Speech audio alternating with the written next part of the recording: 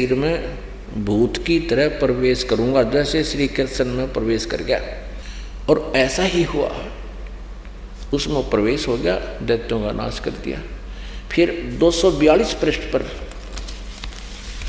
ये कति क्लियर करता है कि मैं कैसे प्रवेश होता हूँ, कैसे लीला करता हूँ, ये देखिएगा। चतुर्थ अंश, वही विष्णु प्राण। ये श्री विष्णु पुराण है वही। और ये चतुर्थ अंश। चतुर्थ अंश और तीसरा अध्याय, श्री विष्णु पुराण। और 242 पृष्ठ पे हम नीचे पढ़ेंगे। यहाँ देखिए, तीसरा अध्याय। पूर्व काल में, रसातल में मौने नामक छह करोड़ गंधर्व रहते थे। उन्होंने समस्त नाग कुल के प्रधान प्रधान रतन और अधिकार छीन लिए थे। गंधर्वों के पराक्रम से अपमानित उन नागेश्वरों द्वारा स्तुति किए जाने पर, उसके श्रवण करने से जिनकी विकसित कमल सदृश आँखें खुल गई हैं, निंद्रा के अंत में जागे हुए उन जलसाई भगवान सर्वदेवेश्वर को प्रणाम करके उनसे नागगण ने कहा, भगवान, इन गंधर्व से उत्पन्न हुआ हमारा भय किस प्रकार शांत हो? तब आदि अनंत रहित भगवान पुरुषोत्तम ने कहा यो नासव के पुत्र यो नासव का जो पुत्र मानधाता है और मानदाता का जो यह पुरकुत्स नामक पुत्र है, उसमें प्रविष्ट होकर मैं उसमें प्रवेश करके भूत की तरफ़ प्रवेश करके। जो पुरकुत्स नामक पुत्र है, उसमें प्रविष्ट होकर मैं उन दुष्ट, संपूर्ण दुष्ट गंधर्व का नाश कर दूँगा। कति कंसेप्ट क्लियर हो गया। उस पुरकुत्स नामक पुत्र है, उसमें प्रविष्ट होकर मैं उन संपूर्ण दुष्ट गंधर्व का नाश कर दूँगा। अब पुण्यात्माओं ये सारा रहस्य अपने सदग्रंथों विद्वान है। और ये अज्ञानी श्री कृष्ण के भगत विष्णु जी के भक्त, शिव जी के भक्त, जो गुरुजन थे, ये हमें यथार्थ ज्ञान नहीं बता सके। और आज तक हमें काल के जाल में फंसाए रखा। तो पुण्यात्माओं, ये स्पष्ट हो गया कि ये इस प्रकार श्री कृष्ण जी में प्रवेश कर गया। ये कहता, मेरे जन्म और कर्म अलौकिक है। ये ऐसे कर्म करता है, यह किसी के सामने नहीं आता। देखिएगा, श्रीमद भगवत गीता। जयदयाल गोविंद का द्वारा ये अनुवादित है। ये जयदयाल गोविंद का।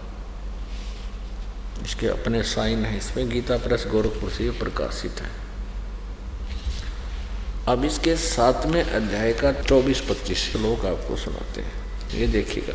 अध्याय नंबर सात, श्रीमद् भगवत गीता। अध्याय नंबर सात, श्लोक नंबर चौबीस में।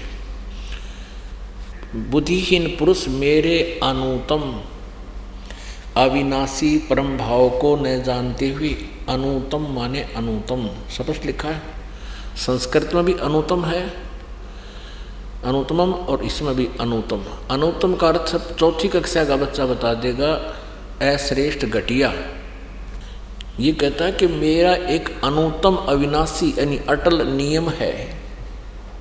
भाव है कि मैं कभी किसी के सामने प्रकट नहीं होता। जब एक सारी सृष्टि का करता और पिता अपने बच्चों से छुपा है तो उसमें कोई दोष है। ये घटिया नियम ही कहा जाता है।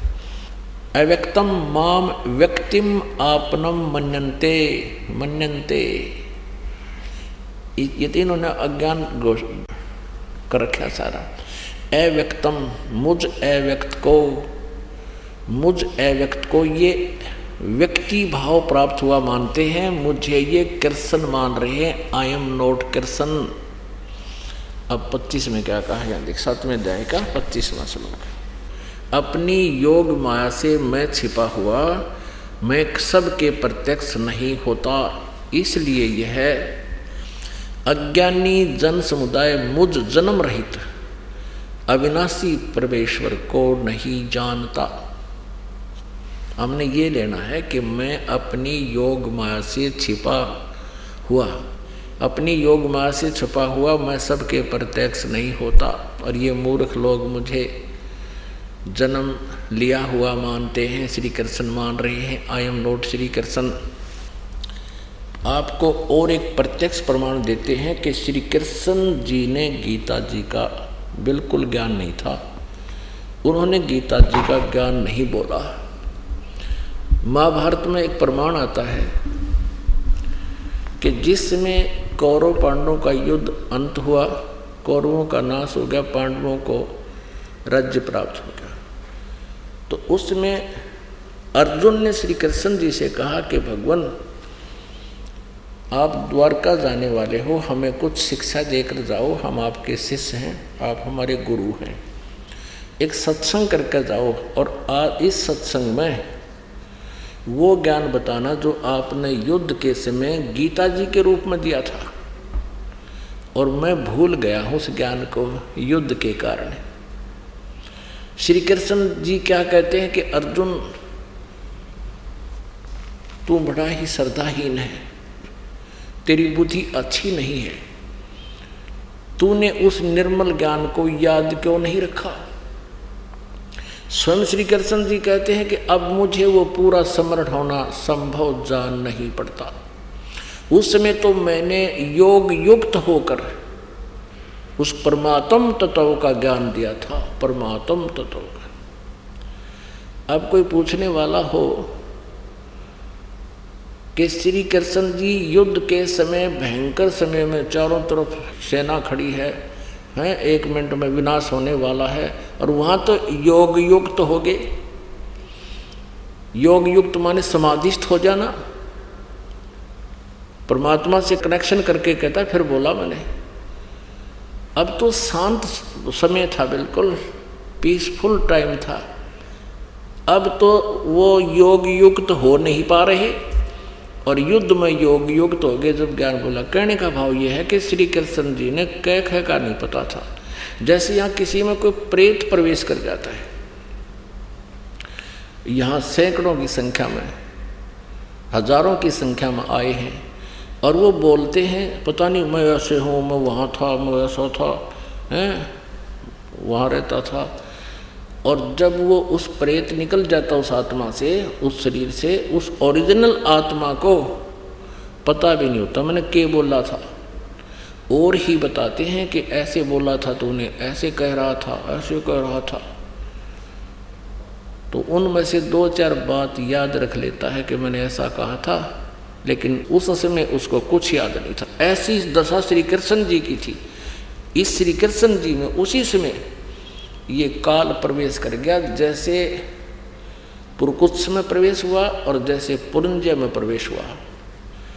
अब कोई पूछने वाला हो कि श्री कृष्ण जी युद्ध के समय, भयंकर समय में चारों तरफ़ सेना खड़ी है हैं, एक मिनट में विनाश होने वाला है। और वहाँ तो योग युक्त तो हो गए योग युक्त माने समाधिस्थ हो जाना। परमात्मा से कनेक्शन करके कहता, फिर बोला मैंने, अब तो शांत समय था, बिल्कुल पीसफुल टाइम था। अब तो वो योग युक्त तो हो नहीं पा रहे। और युद्ध में योग युक्त हो गए जब ज्ञान बोला, कहने का भाव ये है कि श्री कृष्ण जी ने कह कह का नहीं पता था। जैसे यहाँ किसी में कोई प्रेत प्रवेश कर जाता है, यहाँ सैकड़ों की संख्या में, हज़ारों की संख्या में आए हैं, और वो बोलते हैं, पता नहीं, मैं ऐसे हूँ, मैं वहाँ था, मैं ऐसा था, हैं, वहाँ रहता था और जब वो उस प्रेत निकल जाता उस आत्मा से, उस शरीर से, उस ओरिजिनल आत्मा को, पता भी नहीं होता, मैंने के बोला था। और ही बताते हैं कि ऐसे बोला था तूने, ऐसे कह रहा था, ऐसे कह रहा था। तो उनमें से दो चार बात याद रख लेता है कि मैंने ऐसा कहा था, लेकिन उस समय उसको कुछ याद नहीं था। ऐसी दशा श्री कृष्ण जी की थी। इस श्री कृष्ण जी में उसी समय ये काल प्रवेश कर गया। जैसे पुरकुत्स में प्रवेश हुआ और जैसे पुरंजय में प्रवेश हुआ। प्रेतवत और पूरा करवा कई महाभारत में विनाश श्री कृष्ण के शरीर से निकल गया। अब श्री कृष्ण कह रहे थे, मैं हथियार नहीं उठाऊँगा। काल ने रथ का पहिया भी घुमा दिया उठा के और मार डाला दुनिया को। तो पुणात्माओं ये सभी काल की जो है ना, ये लीला थी, काल ने ही, ब्रह्म ने ही बोला। ये ब्रह्म को से काल को? गीता जी अध्याय नंबर ग्यारह के श्लोक नंबर बत्तीस में ये कहता है कि मैं काल हूँ और सबका नाश करने को आया हूँ। गीता जी अध्याय नंबर आठ के श्लोक नंबर तेरह में कहता है कि ओम इति एकाक्षरम ब्रह्म व्यवहारण माम अनुसमरण। यह प्रियाति तदन देहम सयाति परमाम गतिम माम ब्रह्म, मुझ ब्रह्म का केवल एक ओम मंत्र है नथिंग एल्स और जो इसका सिमन करता हुआ शरीर छोड़कर जाता है, सयाति परमाम गति वो परम गति को प्राप्त होता है। यानी ओम से मिलने वाला जो स्थान सतिथि समय, लाभ है, उसको प्राप्त होता है। ओम मंत्र के जाप से ब्रह्म लोक प्राप्ति होती है। और गीता जी ध्यान नंबर के श्लोक नंबर सोलह में कहा कि ब्रह्म लोक पर्यंत भी ये सभी पुनरावर्ती में है, सभी लोग पुनरावर्ती में है। वहाँ गए हुए प्राणी भी पूर्ण मोक्ष प्राप्त नहीं करते, उनका भी जन्म और मृत्यु बना रहता है। पुण्य अक्षीण होने पर वो भी पुण्य लौट कर जन्म मृत्यु में आते हैं। इसलिए गीता ज्ञानदाता कहता पंद्रह अध्याय के एक से लेकर चार में के तत्वदर्शी संत के प्राप्ति के उपरांत उस परम पद की खोज करनी चाहिए। परमेश्वर के उस परम पद की खोज करनी चाहिए।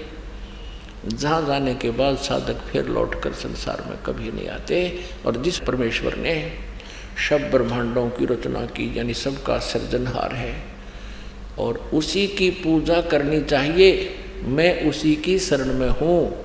किसी अन्य की पूजा नहीं करनी चाहिए। तो अब आपको एक झलक दिखाते हैं श्री कृष्ण जी को तो कह कह का भी नहीं पता, गीता में बोलिया के था, देखिएगा। संक्षिप्त महाभारत, प्रथम खंड, गीता प्रेस गोरखपुर से प्रकाशित है। इसके अनुवादक भी